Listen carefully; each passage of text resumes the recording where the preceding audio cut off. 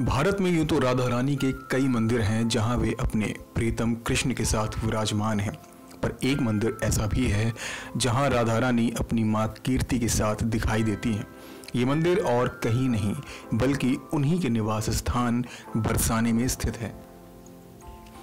राधा रानी की जन्मस्थली बरसाने का भव्य मंदिर कई लोगों के आकर्षण का केंद्र है।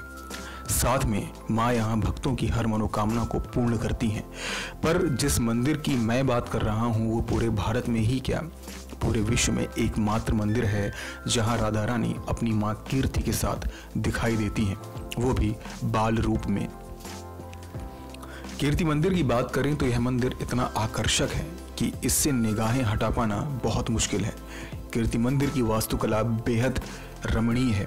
मंदिर में प्रवेश करते ही कीर्ति माता की मूर्ति दिखाई देती है, जिनकी गोद में बाल स्वरूप राधा रानी विराजमान है। प्रेम मंदिर के बाद कीर्ति मंदिर ब्रिज का एकमात्र ऐसा मंदिर है, जो सुंदरता की प्रतिमूर्ति कहलाता है। कीर्ति मंदिर की बात करें तो यह न राधा रानी को समर्पित है और न ही कृष्ण को। इस मंदिर को राधा रानी की माँ कीर्ति देवी को समर्पित किया गया है। देवी कीर्ति के दर्शनों के लिए दूर दूर से भक्तगण यहाँ आते हैं। ऐसे ही विचित्र और रहस्यमय कहानियों के लिए हमारे नेक्स्ट नैन स्पेशल को सब्सक्राइब करें। नेक्स्ट नैन स्पेशल से अभिषेक चौहान की रिपोर्ट